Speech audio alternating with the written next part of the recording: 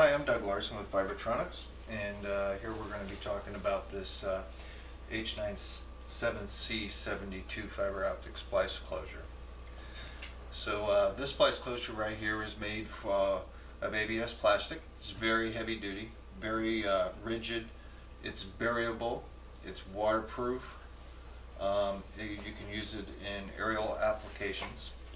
All of the hardware that is provided with it is all stainless steel, so that it makes it environmentally uh, uh, weatherproof.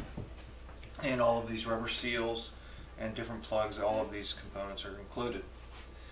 This splice tray, or I'm sorry, splice closure, simply uh, unscrew the uh, bolts on the side,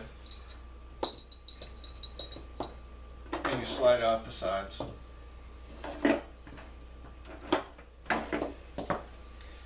and it allows us to access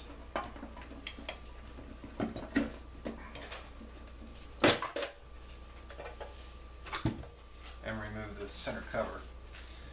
Inside this one has three fiber optic splice trays that are included. This is made for us to be able to bring cables in from either side and do uh, fiber optic splices inside these trays and be able to connect the cables together. All of the uh, sealing gaskets go right into place and then you're able to uh, choose whether or not you want to only use one cable in one cable out and then the holes that you're not needing you just put the plugs in and then it'll make it so that it's still watertight and airtight and seals it all up.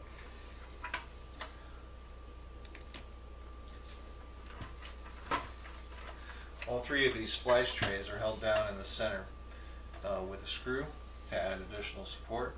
Uh, the splice tray opens, swings open and holds, each one holds 24 fibers, so that making this here a 72 fiber fiber optic splice closure.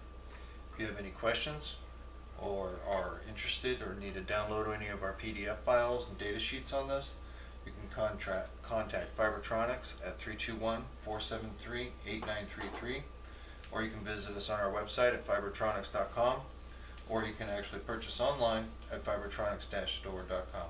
All right, thank you.